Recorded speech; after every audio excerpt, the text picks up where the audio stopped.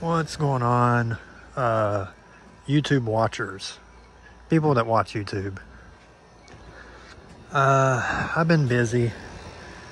We just got done cutting and baling hay and all that stuff.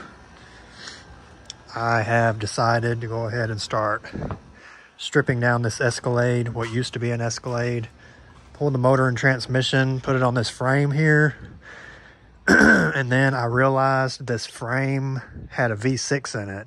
So of course, uh, a buddy of mine, Eric, he had the same problem, going through the same issues. If he watches this video, um, I just had to swap out this motor mount right here, one that kicks out right here, and the motor bolted in.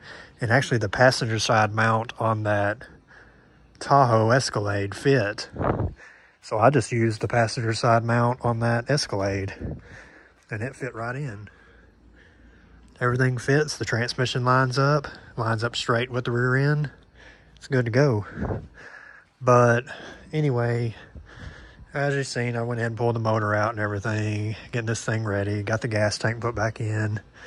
I guess next I need to pull the gas tank down on this Escalade and um, the sending unit should be the same in all of them pull the sending unit out, put in there, and then all I have to worry about is fuel lines. I'll have to get fuel lines for a short bed, regular cab or something, a V8 truck or something. You can see that is the motor out of this thing. See, here's the driver's side mount that goes to this Escalade. That wouldn't work. They were saying, a lot of different people were saying a lot of different things when I looked it up but they were saying the driver side mount you have to get out of a truck. And one person actually said the passenger side mount on a Tahoe or SUV would work, which luckily it did work. So I went out to Andy's. I got the uh, driver side motor mount, frame mount motor mount. I got that. I got a headlight bezel, uh, some pigtails for uh, the parking lights and turn signal lights because, you know, Escalade going to Escalade to Tahoe front end or, or uh, Silverado front end. I need the pigtails to go into the parking lamps. Uh, that, all that basically, he, he, he charged me only 20 bucks for all that. You know, when I was looking online on eBay, there was some people that wanted 40 bucks a piece for those frame to motor mounts. And I was like, you gotta be, you can go fuck yourself. 40 bucks for both, maybe. But you know, I could tell Andy he was just charging whatever, you know, just 20 bucks, a $20 bill for everything. You know, I had a hodgepodge of stuff there, some bolts and stuff, you know, a handful of stuff. But yeah, motor's on, transmission's on. It's only a 4L65E, but it should hold up just fine behind a stock LQ9. I know somebody's probably going to say, oh, you need a 4L80. No, not right now. It'd work just fine in that Escalade. It'll work just fine in this truck that should be lighter. Uh, got the rear end put together. Oh, that reminds me. I think I know. If you guys remember, a while back, I pulled the uh, the uh, the front end stuff off of it, and I think the uh, torque the transfer case was burnt up. Well, I think I know why. Because somebody, some dumb fuck, put a wrecking yard rear end in this thing. And I guess they didn't check the gear ratios. Because if we come in here and look, this is an Escalade, of course. There should be a sticker in here that tells you. Uh, let's see, where is it? A, B, C, D, E, F, GT4, G80. So GT4 is 373, which is what the front differential was. The back was 342. So there you go. That's why it burnt up, because some idiot put the wrong gear ratio in the back. There you go. Somebody ruined the whole Escalade. But anyway, because I opened that case up, I thought, well, I'm going to get me some 373 gears. And even though the G80 is shitty, it, it's better than an open differential. Well, Well, I was completely wrong. I opened the freaking rear end up and it was open freaking spider gears and a damn 342. So I just put spider gears back in this thing. And I mean, it rotates as smooth as ever now. But I was going to use like the, the axles and everything out of that rear end. No, can't do that because them axles, that rear end is in worse shape than this rear end was. I mean, there wasn't a bunch of metal in it, but um, the axles were the, uh, uh, out here where the axle bearings are, it was just pitted and rough and grooved up. You know, like that, that rear end has a lot of miles on it. Somebody threw in a high mileage piece of shit rear end in that Escalade. Because I was like, 166,000 miles, that's not bad for one of these 99 306s usually they're in, eh, they're in half-ass good shape if you half-ass take care of them. But that was just neglect. Like I don't know. I've I've changed the fluid for the first time on some rear ends that had almost 200,000 miles and they almost looked like new on the inside. I one of my uncle's trucks you know, pulled the pan down, looked at the spider gears and everything. It looked perfectly fine. And his truck had over 200,000 miles. Never changed the fluid in it. So anyway, it still, it still makes a little bit of noise, but I mean, I think it'll be a hundred times better than it was. I mean, it's just, it's smooth. There's a little bit of resistance there, a little bit of slack in it, you know, whatever your backlash should be but I think that'll be perfectly fine. And it'll just be an open, a weak ass open differential for now. And one day when I find an actual LSD or something to put in it, uh, oh, excuse me, then I may swap the bearings out and, oh, excuse me, other stuff. But I bet the 342, that Escalade, the at 70 miles an hour, it was hovering right at 2,000 RPM. So the 342 gear for this thing might be perfect because I'm planning on running these 20s for now. And the tire size I want to run is a 295 40, I think.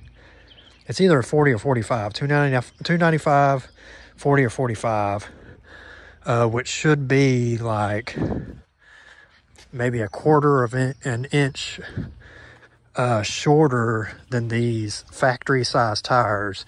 The factory tire that should come on a V8 single cab, which is a 255 70 16. So it'll be like just a tiny bit shorter.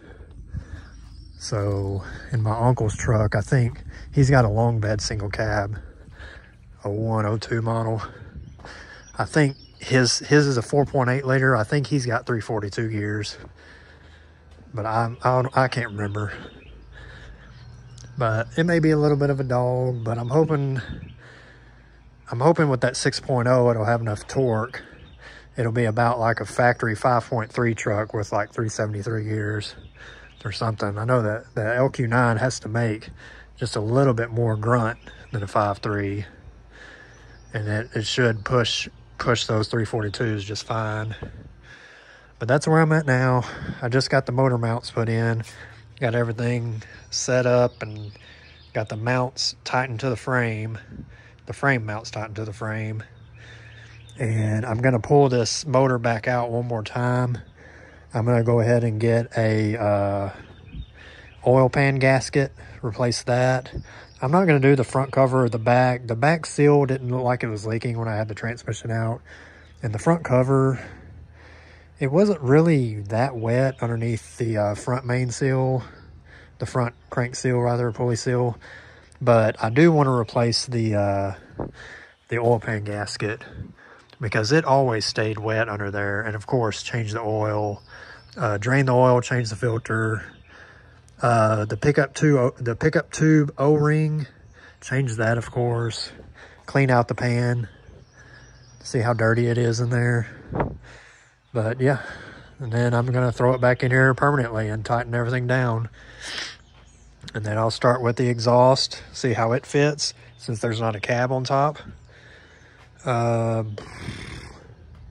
some stuff I got to be wary of because I don't the, the the floor of the cab. I don't know how far it'll go down. Like the exhaust, if it fits, it should be the same floor plan as that Tahoe. Just you know, shouldn't have to do anything. I would think. The big thing I need now is fuel lines. I need fuel lines for a single cab, short bed, uh, V8 truck. I've seen some people on eBay, they sell like these nylon line kits that you can custom make to uh, replace the steel lines. I don't know. I'm, I'll look into that, but I really, if I could find just, you know, a set that's will unbolt, and I don't know. I don't know if a long bed would be the same because there's a long bed out there at Andy's and it looked like the gas tank stops at the same spot under the cab. So maybe the fuel, the steel part of the fuel lines will snap into either or, a long or short bed, you know, but it has to be a single cab. And then once I get the fuel lines, man, I don't know. That's about it. I just have to save up for another fucking cab which Andy has one out there. He said he would sell me for 200 bucks and it does have a clean title, but it don't have a title. And if I do a bonded title, they may want to see the truck and like inspect the frame and everything. So he told me it's best just to find a cab with a clean title, which is what I should have done in the very beginning. But no, my dumbass. Oh, this cab's closer, even though it don't have a title. Well, yeah, that bit me right in the ass. but anyway, that's enough rambling. I guess I will pick back up whenever I make more progress uh, to this frame right here. You know, we're we're tossing the building a single cab cheaper than buying one out the window because, like I said, I kind of cheated. I already had an Escalade over there with the motor and transmission, and that motor and transmission right there is 2500 1500 I don't know, some ridiculous number that some idiot wants to pay for a LQ9. It's a 6.0, whatever. To me, it's not worth a thousand bucks or 500 bucks, but anyway. uh, other than the fuel lines, the brake lines, I need to carry the brake lines to Lufkin and get them uh, flared. Try to get them flared. Just one flare here connect here. I'm not going to be doing anti-lock brakes. It's just going to be straight lines to the master cylinder. So really a T, a straight fitting, three, maybe one, two, three, four uh, flares. That's something I may want to wait for the cab to be put on. I mean, I can put this rear line on and it, the, the second section of the rear line comes to right here. I can go ahead and flare this and put the connection on it. Then the front piece, I don't know. I think the cab stops about right here and the firewall goes up right here. So the master cylinder is right here. But I'd like to be sure about that. And this uh, rack and pinion, I need to order a seal kit for it. I just, you know, I've been contemplating about that on eBay, looking for something that's legit because you have to sift through all the Chinese garbage on eBay. And trust me, there's a lot of it. Trying to find something that looks half-ass decent that's in the US of A and not shipping out from fucking whatever bang blah blah blah China, some fucking bullshit. Whatever. No offense. But anyway. Alright guys. That's about it for now. I need to go inside. My nose is about completely stopped up. I need to overdose on some allergy medicine and probably take a nap or something. I mowed some yards today and uh, overheated myself in the car that don't have AC. So yeah, you guys have a great day or night whenever you watch this and take care.